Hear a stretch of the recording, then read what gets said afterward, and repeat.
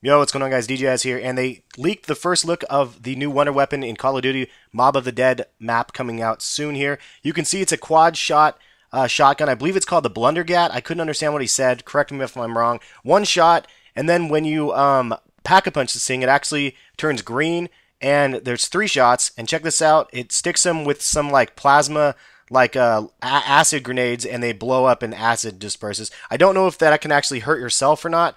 Um, that's kind of just what we're seeing from this trailer, but I'm going to let you guys listen to what he says uh, about this from the official release. I'm really looking forward to this map. Subscribe to my channel if you guys want to see more uh, of this stuff and definitely some gameplay when uh, Mob of the Dead comes out. I'll be playing the crap out of this. Um, but there it is right there. Check out those little uh, acid grenades. Pretty badass. Anyway, here you go. Listen to this guy.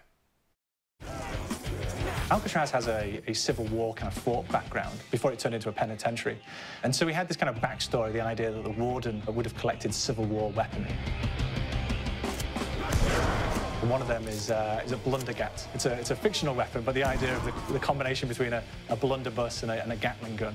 And possibly, it might be a way of upgrading it to a more uh, fantastical weapon that the, the players may find.